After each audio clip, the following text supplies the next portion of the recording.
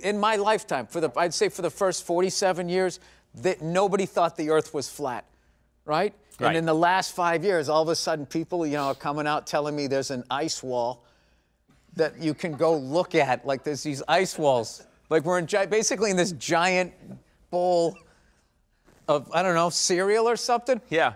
But then once again, I'm like, all right, I'll go with that. But like, Right. what is the upside to telling me, a sheeple, that the world is flat, is round if, when it's really flat? Yeah, yeah. What, what is the upside of doing that? Right. Why trick us? Why deceive us? Yeah, what, what do you get out of doing that?